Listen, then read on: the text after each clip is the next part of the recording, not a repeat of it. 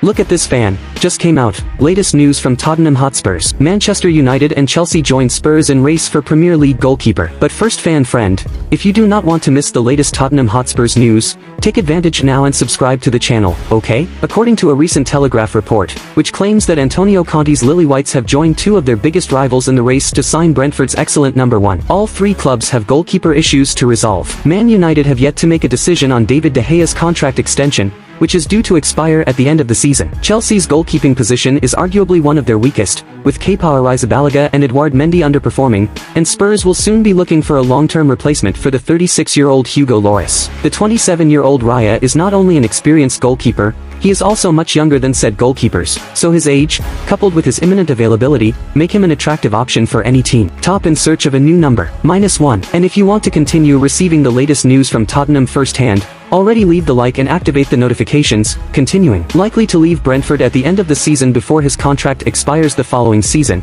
Thomas Frank may be forced to admit defeat in his efforts to retain control of the reliable 27-year-old. Spurs have so far been the most interested side, but Lily White's drawing power now looks ready to be tested following the emergence of Erik Ten Hag's Red Devils and Graham Potter's Blues. Since joining the Bees from Blackburn in 2019, Raya, who has two senior caps to his name, has played 142 games, in all competitions, keeping 48 clean sheets along the way. What's up friend fan, what's your opinion about this possibility of hiring? Leave your opinion in the comments, it's very important for Tottenham Hotspur.